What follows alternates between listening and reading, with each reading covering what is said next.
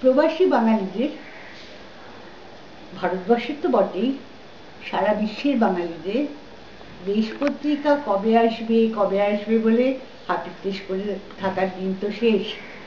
দেশের ওয়েবসাইট অনেকদিন চালু হয়ে গেছে, দেশ এখন অনলাইন এখন ইচ্ছে করলেই দেশ পত্রিকা অনলাইনে সবাই পড়ে ফেলতে পারবেন এবং সঙ্গে সঙ্গে দেশ বেরোনোর সঙ্গে সঙ্গেই পড়ে ফেলতে পারবেন। দেশের তো প্রায় বিরাশি বছর বয়স হলো। তবে দেশ পত্রিকা চিরনবীন এবং নবীনদের আহ্বান জানায়, অনলাইনে নতুন প্রজন্মের ছেলে মেয়েরা নিশ্চয়ই দেশ পত্রিকা পড়ে উজ্জীবিত হবে। সব থেকে বড় কথা হচ্ছে যে দেশ পত্রিকার যে অনলাইন দেশ পত্রিকার তাতে কিন্তু আলাদা করে একটা গল্প থাকবে এবং একটা ভ্রমণ থাকবে, যেটা এমনি দেশ পত্রিকায় পাওয়া যাবে না। সেটা একটা বড় ঘটনা। বইয়ের দেশ, বইয়ের দেশের গ্রন্থ সমালোচনা, নানান প্রবন্ধ, এগুলো বইয়ের দেশে পাওয়া যাবে, সেটাও অনলাইনে পাওয়া যাচ্ছে।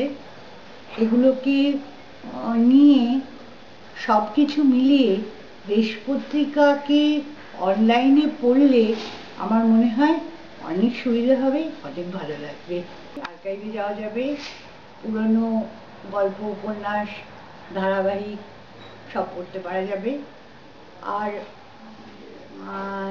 টুইটার বা ফেসবুকেও ফেসবুকেও কিন্তু এখন দেশ পত্রিকা অ্যাভেলেবল এবং যদি ইচ্ছে হয় ফেসবুকে দেশ পত্রিকা সম্পর্কে আলোচনা করা যেতে পারে। দেশ এখন ফেসবুকে আছে। দেশ পত্রিকাকে বিভিন্ন সাজেশন দেওয়া যেতে পারে। দেশ এখন এগিয়ে চলেছে দেশ পত্রিকা এগিয়ে চলেছে। বিরাশি বছর বয়স হলেও সে নতুনের মতন টকবক করে ছুটে চলেছে।